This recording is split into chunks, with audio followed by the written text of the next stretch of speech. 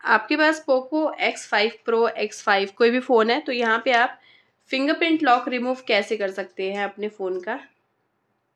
तो fingerprint lock remove करना है तो इसके लिए जाएँगे आप सेटिंग पे स्क्रॉल करेंगे। पासवर्ड एंड सिक्योरिटी पे क्लिक करना है और इसके बाद यहाँ पे फिंगरप्रिंट अनलॉक का ऑप्शन है क्लिक कर लेंगे और अपने फ़ोन का लॉक एंटर करेंगे।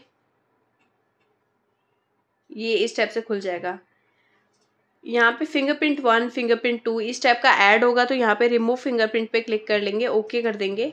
और फिंगरप्रिंट यहाँ से आपका रिमूव हो जाएगा। अब यहाँ पे बैक कर लेंगे। देख सकते हैं, बंद हो गया है। अब यहाँ पे अनलॉक करेंगे। तो फिंगरप्रिंट आपका वर्क नहीं करेगा।